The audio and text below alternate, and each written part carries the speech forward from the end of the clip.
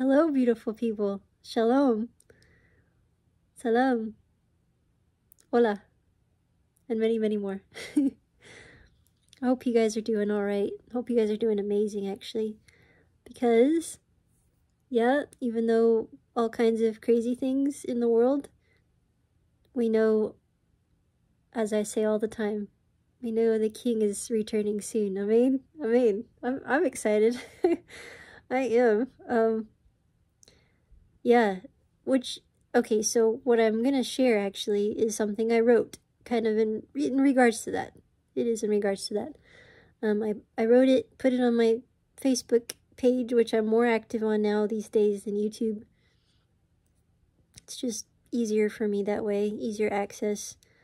Mm, probably mostly because of the phone situation I've got going on.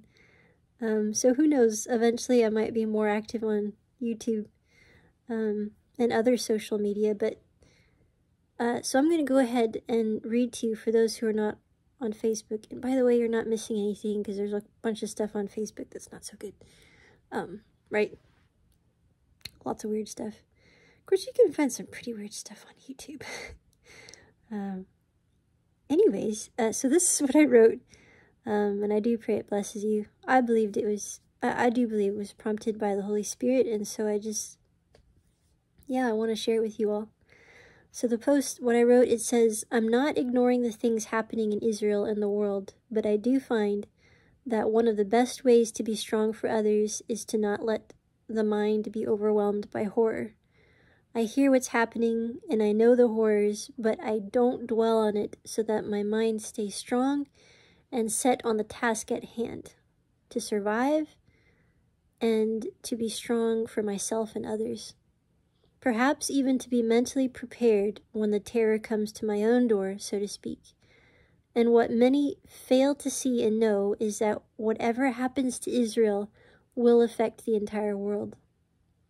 This year, I want to do more music, not just because I love it, but because the music is a message of hope in these times, and also the music to win war, both in physical and spiritual realm. The harp is an instrument of war. It was an instrument created by playing on the strings of a bow and arrow. It is the instrument heavily written of in the Bible, and the one instrument written for both existing in this world and the world to come. So when I sing and play the harp, it is more than just the music now and in the moment of what is seen by the naked eye, but also for what is not seen and still happening in a very tangible way. The battle of good against evil is not won by weapons we can touch, but by fighting in the spiritual realm. As things grow dark in this world, do not underestimate the power of God being lifted up in worship music. Sing with all your might. Play your instrument with all your heart. Dance with all your soul. The King returns soon. Amen. And then I also shared this. I have a picture of um, my harp, and then I shared this too below that. Sorry, trying to see what I got here. Um, this is from Second Chronicles 20, 20, or Second Chronicles chapter 20, verses 21 through 23. After consulting with the people, he, this is King Jehoshaphat, appointed those who would sing to Adonai and praise the splendor of his holiness as they went out ahead of the army, saying, Give thanks to Adonai, for his grace continues forever. And some translations say endures forever. Then, during the time when they were singing and praising, Adonai brought a surprise attack against the people of Ammon, Moab, and Mount Seir, who had come to fight Jehudah, and they were defeated. What happened was the people of Ammon and Moab began attacking these people who live by Mount Seir to kill and destroy them completely. And when they had finished off the people from Seir, they set to work slaughtering one another. Confusion.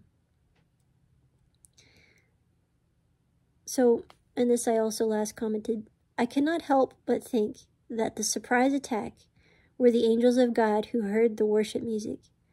We are about to see miracles again in the earth as like in ancient times. Amen. It is written that the angels will come and minister on the earth in the last days. who is to say they will not also fight to help God's people? Amen.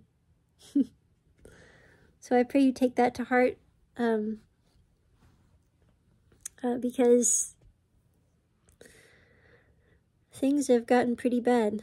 Um, here in, in the USA, I think a lot of people go about their lives like everything's okay, but there's still that unsettling feeling knowing something is not quite right. But again, for those of us who do believe in the Messiah and His Word and His truth and who He is, we're aware of the times and we know that the Savior, the Redeemer, is coming back, manifesting Himself physically soon. Um, that's pretty exciting. um, it is exciting.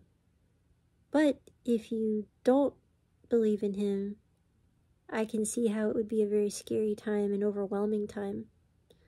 Um, and it's not to say that things for people who love God are going to be hunky. What's the phrase? Hunky dory? um, it's not going to be amazing. Um, but, you know, there's just that peace knowing that no matter how bad it gets, God's still in control. It's going to be okay. Even if our life is taken, it's still okay because God has our souls. I mean, He can raise people from the dead. Um, he does that sort of thing. Um, that actually still happens today.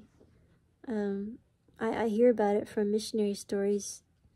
You know, God is the same God in ancient times as He is today. So there's still miracles of people coming to life again. Um, and he, he can do that. But also raise up his people in the life to come too. And I know I know I'm gonna see my mom there and uh, other people who who have loved the Lord and have gone on there ahead of me. Um, yeah.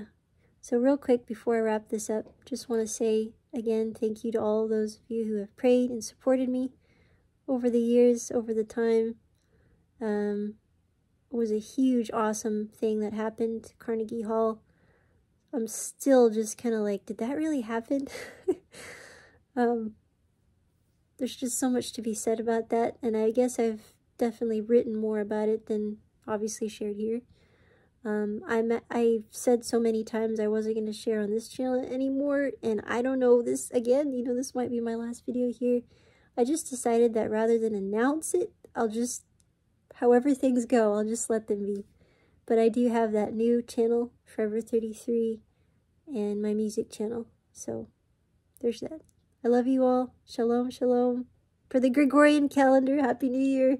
Hope you had awesome holidays. And uh, rejoice for our King draws near. Shalom, shalom. Love you guys.